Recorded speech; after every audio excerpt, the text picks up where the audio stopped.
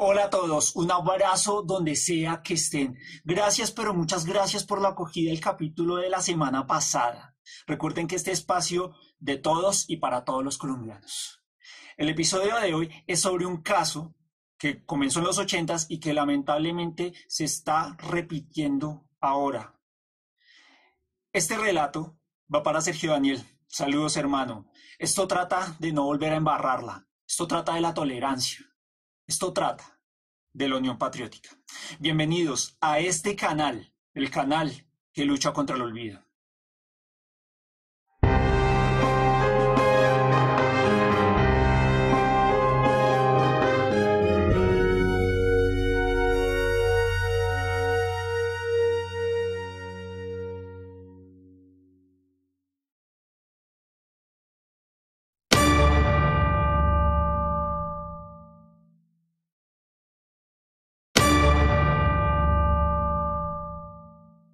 Todo comenzó en 1984 en la Uribe Meta, en ese puntico rojo que ven ahí en el mapa. El gobierno del presidente conservador Belisario Betancourt Cuartas se reunió con los líderes de la guerrilla de las FARC, Manuel Marulanda Vélez, el famoso tiro fijo, que era el comandante campesino, y Jacobo Arenas, que era el comandante ideológico y político. Ese fue el primer intento de acuerdo de paz en este país. Como una parte de ese acuerdo, ese pacto es qué vamos a hacer con los guerrilleros que están en el monte cuando sean civiles y que muchos de esos guerrilleros obviamente querrán expresar sus ideas en la calle, en una plaza pública, en el parlamento, pues decidieron crear un partido político como la transición de un conflicto armado a un sistema más democrático. A ese movimiento lo bautizaron la Unión Patriótica. ¿Cómo estaba compuesta la Unión Patriótica? Pues estaba compuesta de exguerrilleros de las FARC, miembros del Partido Comunista, miembros de la Juventud Comunista, líderes comunales, veredales de los barrios, los pueblos, de las ciudades y algunos disidentes del Partido Liberal y del Partido Conservador. ¿Y qué proponía la Unión Patriótica? La Unión Patriótica proponía varios puntos muy acordes a la realidad, bastante sensatos que se terminaron cumpliendo con el tiempo pero otros puntos eran muy polémicos en cuanto a lo económico y lo social y fueron muy discrepantes. ¿Quieren saber cuáles son?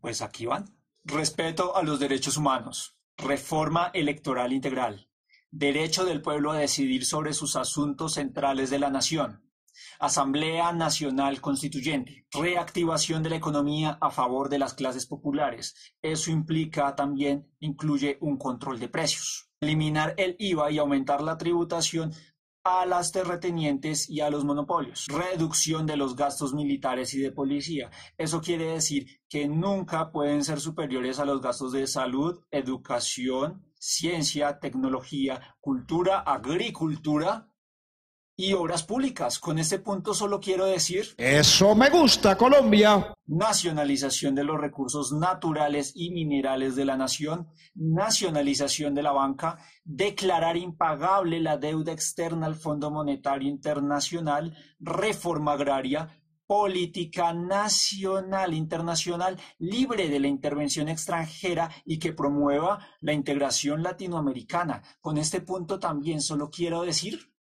eso me gusta, Colombia. El hecho de que a mí o a muchos de ustedes no les gusten algunas de estas propuestas que mencioné, jamás, oíganlo bien, jamás justifica lo que sigue. A pocas semanas de inaugurar el partido en el Cesar, fueron asesinados dos líderes comunitarios de la Unión Patriótica en medio de la tregua FARC-Gobierno. El miedo a la paz o más bien a las consecuencias del triunfo del proceso de paz, motivaron a diferentes sectores, como élites ganaderas y rurales, porque no me quite la finca, políticos locales tradicionales, grupos, sectores de las Fuerzas Armadas. ¿Qué tal el comunismo llegue al poder? Y el narcotráfico. Oh, ¿qué tal se me tire en el negocio? Todos estos elementos fueron lo que el comisionado de paz de la época Otto Morales Benítez llamó antes de renunciar los enemigos agazapados de la paz, pero nunca dijo nombres propios. Todos estos grupos aprovecharon una vieja ley que permitía el entrenamiento de la población civil por parte del ejército en zonas de conflicto. Agréguenle a eso las extorsiones y secuestros de una guerrilla alejándose de sus ideales cada vez más. El resultado, paramilitarismo. El gobierno nunca fue enfático con las FARC para que entregaran las armas. Al mismo tiempo, la guerrilla denunciaba que pesar de la tregua, el ejército seguía y seguía atacando los campamentos. En paralelo a todo esto, hubo elecciones en 1986 con resultados muy alentadores para el nuevo movimiento, 300.000 votos. Definitivamente la rompió. La violencia contra la Unión Patriótica se recrudeció con los asesinatos, especialmente el del candidato presidencial y jefe del partido Jaime Pardo Leal en 1987. La gota que rebosó la copa. Exguerrilleros como Iván Márquez, que había logrado ser congresista por el Caquetá, prefirieron regresar al monte. Y así, la UP se abrió completamente de las FARC. También pocos políticos como Ricardo Palmera, a.k.a. Simón Trinidad, un gerente de banco de familia acomodada, prefirieron tomar los fusiles. No, parce, no me haga esto. Bernardo Jaramillo Osa, como nuevo jefe de la Unión Patriótica, buscó ampliar el movimiento, moverlo más allá de la izquierda y llevarlo más hacia el centro. 1888 se le dieron más victorias electorales al movimiento y Jaramillo Osa se lanzó a la presidencia de la República para el periodo 1990-1994 con el lema Venga esa mano país. Algunos entendieron Venga y deme plomo. Le dispararon en el aeropuerto El Dorado en marzo de 1990. El obispo de Manizales, que después fue cardenal, José de Jesús Pimiento Rodríguez, prohibió que en su diócesis se le realizara el funeral. ¿Qué haría Jesús en estos casos? ¡Sálvame, Jesús!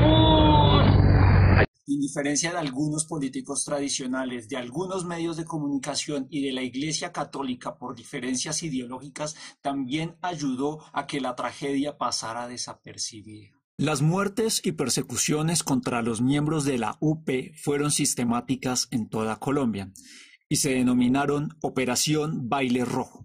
Y eso que somos la democracia más antigua de América Latina. Según el Observatorio de Memoria y Conflicto del Centro Nacional de Memoria Histórica, entre mayo de 1984 a diciembre del 2002, se han documentado 4.153 víctimas de la Unión Patriótica que fueron asesinadas o desaparecidas. De ese número, las 4.153, 3.122 fueron por asesinato selectivo, 544 por desaparición forzada, 478 víctimas de masacres, 4 secuestradas y 3 más en otras modalidades. También se reportaron, por otra parte, 2.048 víctimas sobrevivientes de hechos de violencia tales como amenaza, tentativa de homicidio, tortura, violencia sexual, violación de garantías judiciales, desplazamiento forzado y exilio. Todas las víctimas en total suman 6.201. En promedio, entre 1984 y 2002 hubo una víctima cada 22 horas.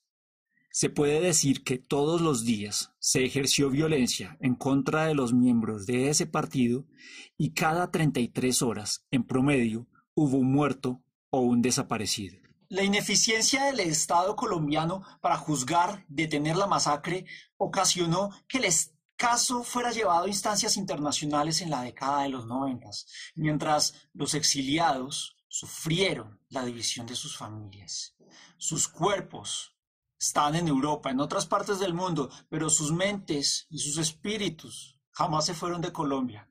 Solo hasta el año 2016 tuvieron la posibilidad de regresar al país gracias a los acuerdos de La Habana. Así llegamos al final de este episodio. Y como no solo de pan y de redes sociales vive el hombre, en la descripción hallarás artículos recomendados Fuentes que utilicé para este relato. ¿Matar a una persona es matar una idea? ¿Cuáles propuestas apoyas y cuáles no de la Unión Patriótica? ¿Tienes alguna duda acerca de este episodio o de los anteriores? Déjame tu comentario en la caja. Si te gustó, dale clic al pulgar arriba, suscríbete al canal y también tilin tilin a la campanita para que veas las notificaciones porque la próxima semana hablaré de otro gran mártir y hallarás, encontrarás más, más contenido para conocer y entender nuestra historia. Hasta la próxima.